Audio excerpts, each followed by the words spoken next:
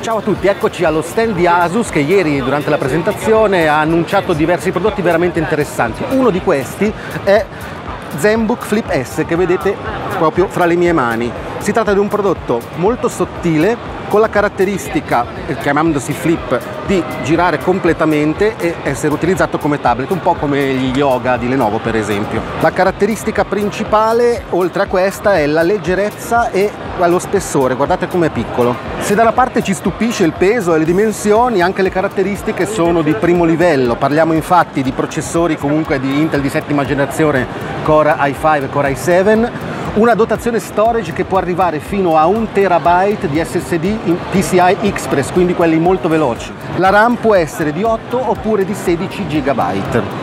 Per quanto riguarda le porte troviamo due USB 3.1 Type-C, una la vedete qui e una la vedete da questa parte.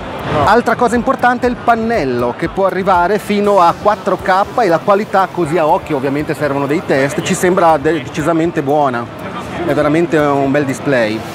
Purtroppo non si sa il prezzo di commercializzazione in Europa, l'abbiamo appena chiesto e ci hanno detto che non ce lo danno. Però sappiamo che eh, durante la presentazione le, il prezzo ufficiale era di 1099 dollari a partire da, ovviamente nella configurazione massima è destinato a salire anche di molto. Resta il fatto che rimane un prodotto secondo noi molto convincente e sicuramente si offre come alternativa ad altri sistemi e lo vedete è molto bello, è molto leggero sta nello zaino senza problemi, può essere usato come tablet a Windows 10, insomma un bel po' di cose. Dimenticavo, viene fornita in dotazione anche la penna come succede con altri sistemi 2 in 1 e tablet.